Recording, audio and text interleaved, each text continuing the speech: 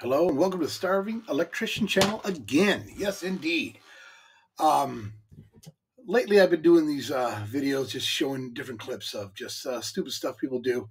Uh, there's a reason behind it, so uh, I won't get into that too much. But uh, stay tuned for next week. We're going to go over a pie chart, uh, how to determine how many lights or plugs, what have you, can go on a circuit, uh, voltage, amperage, stuff like that. So we're gonna get into the meat of some stuff. So right now, we will go over some knucklehead stuff. So right here, uh, I don't know, tell me why it got cut off, and I, I mean, just stuffing the wire in with the, the cord end, I, I just don't get it. Um, not like I'm Mr. Safety. I mean, I've done some shady shit before not to catch anybody's house on fire, but uh, you know, anything to get some power uh, when I need it. But this is like, man, I mean, I'm lazy. I'm the laziest cat you're ever gonna find. But uh, this is beyond lazy here. I mean, take the plug out or something. Uh, but but using the plug, there's a little uh, genius involved in this too. So they needed something to stuff the wires in. They found it. All right, let's move on to the next one man, I tell you, some cats are like evil geniuses. You know, I lazy again. Here we go. I'm lazy, man. Fat too. What are you gonna do? You know, I like beer and I like tacos, and I bet this guy does too. Um, but uh, rather than stuff the plug in those uh, little portals there, I mean, uh, he put a couple of screws in. A little bit of danger, but my man's like James Bond. You know, I could hear the music. You know, Oh yeah, this guy, he's slick as grease. But uh, you know, I'm, I, of course he's a knucklehead, but this is the guy you want to hang out with. That's an evil genius right there. You don't even know what he's planning, but he thinks his way around stuff. So, knucklehead or not, I like this guy. All right. I can't even get mad at this guy. I mean, this guy is well, he's not diabolical like the last guy, but uh, I mean, to tap into those wires, uh, he he man, my man needed a plug, and it is what it is. But I'm gonna tell you what this guy is. He was an electrician. I mean, to know, you know, you can see that it's phased. Um, you know, I I, I, assume one of those is a neutral. I don't see any white on it or what have you. But I mean, to tap into it and look at, he used the little insulated uh, connectors there for his wires. So, I mean, he was being safe. Should have wrapped tape around those little self tappers when he got in there.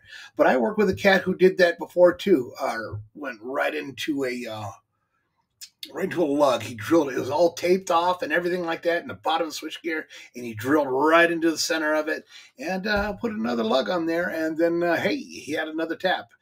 Um, I'm like, man, you're supposed to be doing that. And uh, uh apparently he figured it was okay. But uh, hey, this the only thing wrong with this is there's no breaker on it, right? So, but this was an electrician that did this. I don't think anybody else is that smart to do it. And us electricians happen to be pretty brilliant, Joe. So, but okay, whatever. Okay, I'm going to tell you exactly what happened after this was put in. He was done. Looks like a 200 amp service, uh, square D. Um, I mean, looks like nice work and all, but you know, you do have that one little issue of the shower being there. But I'm gonna tell you what happened exactly after this. The guy stuck his money out and his hand out and said, "Give me my money." And uh, did he not put in a 200 amp service? Who said don't put it in the shower? It's merely a suggestion. That might be watertight. You never know that. Well, I guess we can tell that it isn't watertight. But like there's a vent above it, so it's not going to get, uh, you know, steam. Maybe, you know, like a fart fan above that to suck the steam out of there.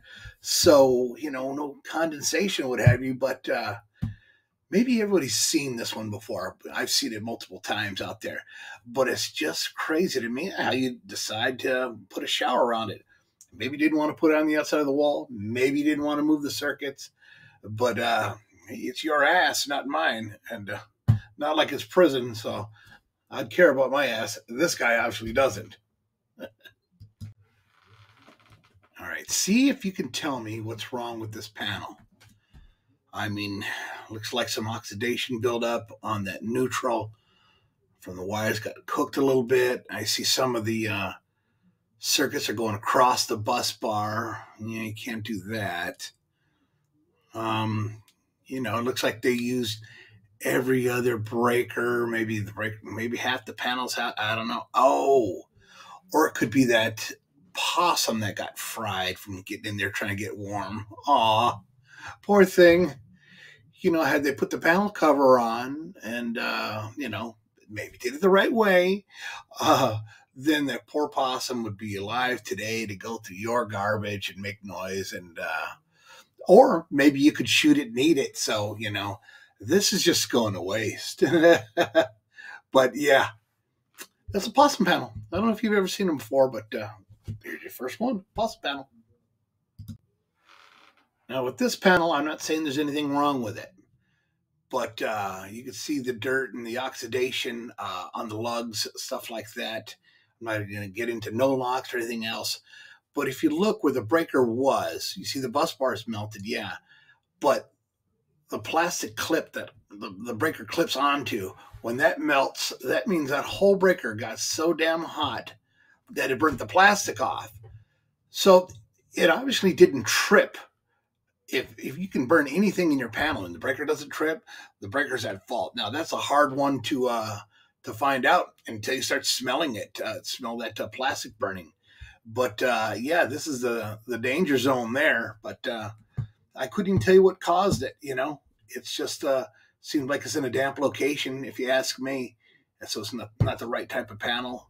You know, I can see a little code violation here or there, but uh, yeah, this is a scary stuff. But uh, that's why they made electricians, right?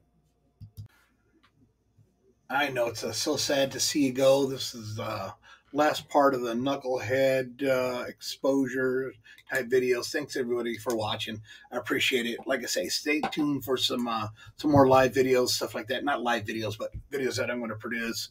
Uh, my blackboard. I'm going to do some calculations for you. We're going to get back into some uh, tips and tricks and whatnot, uh, pipe bending and everything else. So uh, stay tuned for that, and then some of these because they're fun.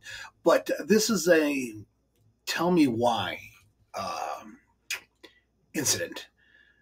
You got a tamper resistant outlet uh, to the left, and that's code now. Everything has to be tamper resistant. And then uh, that that other one on the right, it's just uh, I don't know something about that one. They did twist the wires uh, around the terminals, um, but uh, for some reason it popped off. Okay, great, but why? Why not plug it in the other outlet at least? You know, did you need the cord that bad? Uh, I mean, were you that lazy? Again, talking about laziness. You got me, man. I'm Lenny. Again, I'm not ashamed to say that I'm lazy because I get it done fast.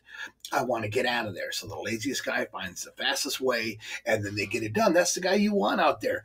Some old schlub with gray hair and fat comes walking up and wants a job. You got some young buck there. It's like, no, pick that old uh, fat schlub because uh, he's going to get it done and get it over with. It doesn't take him eight hours to do eight hours worth of work.